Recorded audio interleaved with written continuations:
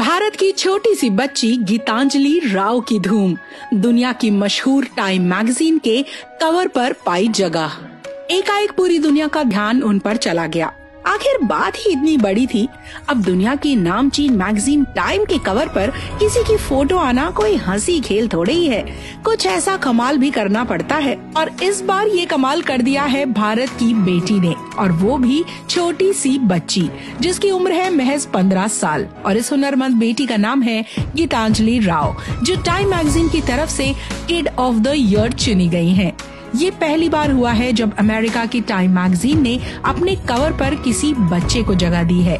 बड़ी बात यह है कि इसके लिए दुनिया भर से हुए 5000 हज़ार नॉमिनेशन में से गीतांजलि राव को चुना गया।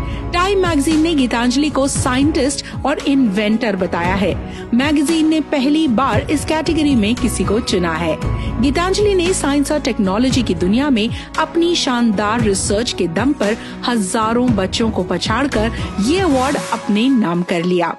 गीतांजलि को ये अवार्ड दूषित पेयजल और साइबर बुलिंग के क्षेत्र में टेक्नोलॉजी के बेहतरीन इस्तेमाल के लिए दिया गया है।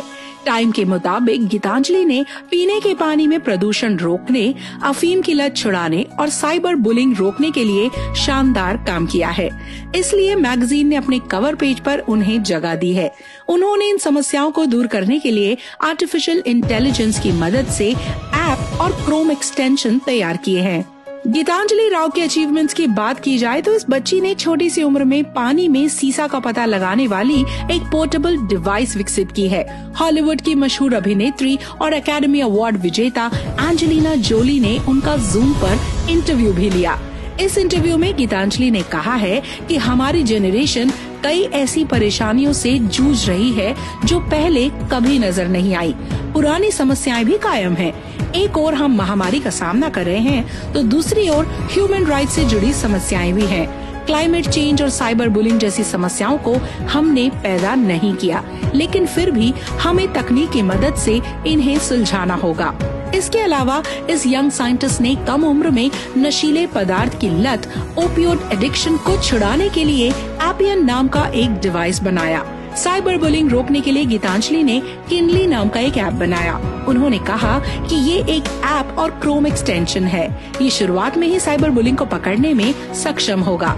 गीतांजलि राव के अनुसार उनका मकसद सिर्फ़ अपनी डिवाइस बनाकर दुनिया की समस्याएँ सुलझाने तक सीमित नहीं है। बल्कि उनका कहना है कि अब वो दूसरों को भी ऐसा करने के लिए प्रेरित करना चाहती हैं। एक और खास बात ये भी है कि गीतांजलि टाइम मैगजीन के कवर पर जगह पाने वाली सबसे कम उम्र की लड़की हैं और इससे पहले भी 2019 में उन्हें फोर्ब्स की 30 अंडर 30 लिस्ट में जगह मिली थी